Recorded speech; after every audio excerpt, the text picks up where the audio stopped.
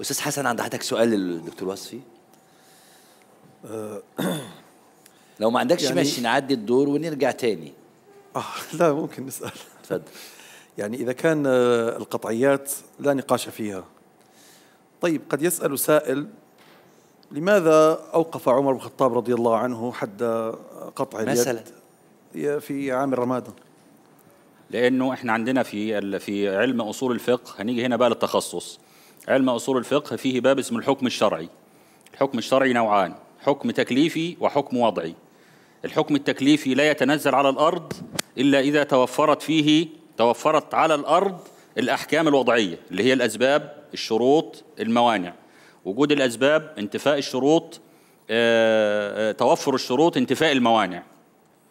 في عصر ال- الرمادة وجدت موانع كثيرة لإقامة الحد وهي الشبهات. وعندنا نص واضح عام قصد حضرتك في السنة النبوية إدراء الحدود بالشبهات. لم- لمنع الحد. لمنع الحد يعني نعم. مانع من موانع الحد وجود الشبهة. إذا الحكم الشرعي سيظل الحكم التكليفي سيظل معلقا في الهواء. لا ينزل على الأرض ويطبق إلا إذا مهدت له الأرض بالأحكام الوضعية.